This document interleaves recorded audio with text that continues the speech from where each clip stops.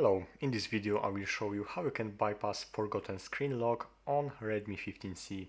So you can do it only by using by resetting from recovery mode. So to open recovery mode you have to completely power off your Redmi 15C by using power button and volume up button. Press it together just like that.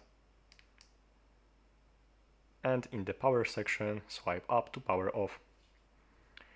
Now you have to uh, open power on your Redmi 15C by using power button and volume up button holding together. Power button volume up button holding together for a couple of seconds. And now when Redmi logo appears release your finger from power button and hold only on volume up button for a couple of seconds. And now I am in the uh, recovery mode, so you can navigate by using volume up button, uh, volume down button and also power button to confirm.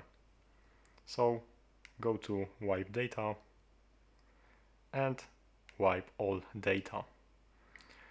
Now it uh, will reset all of your uh, files from your uh, Redmi 15C, but this is the only way to um, to bypass forgotten screen lock. So you can do it just like that.